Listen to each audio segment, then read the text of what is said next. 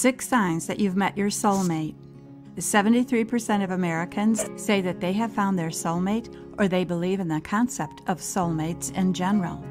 As romantic as that sounds, some people are still skeptical.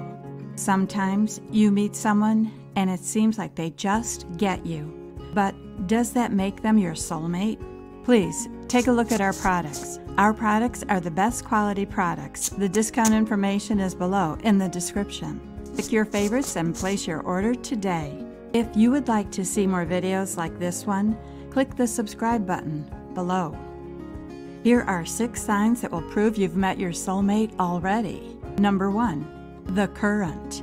When you meet your soulmate, you involuntarily fall in love and the attraction is wild. You know that the person is a natural extension of you and no other feeling can be compared. You feel an electric current when he touches you, and everything else ceases to exist. Number two, opposites can actually attract. Nobody can be perfect, but what if someone's vice and virtues fit perfectly? That's what soulmates are all about balance. If you are all about the adrenaline rush, then your soulmate can be a dexterous planner. You don't necessarily have to be similar. Number three, you will just know. With soulmates, it is the vibe and connection that matter more than anything else. Petty trivialities, like looks, will cease to matter, and you will seek a bond that's deeper and unaffected by such things. You have to take chances and not overthink. It may so happen that you miss a party because of the scenarios you built in your head, and that is the place you are destined to meet your soulmate. Number four, you have identical set of values. So, unlike what rom-coms would want us to believe, only love is never enough.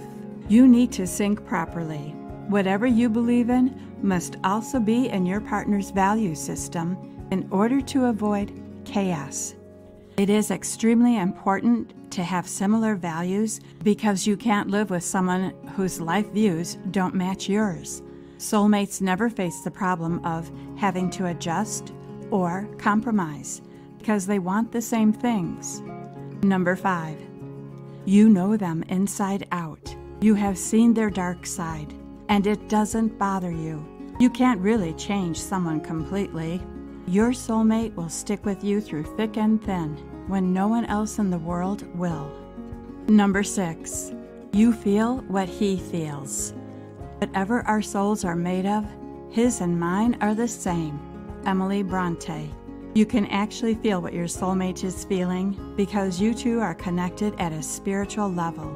It may sound absurd, but if your mate is sad, you too are bound to feel low. This is a healthy sign as you both truly understand each other and try to find comfort. If you found this video helpful, please share it with your friends and family on Facebook.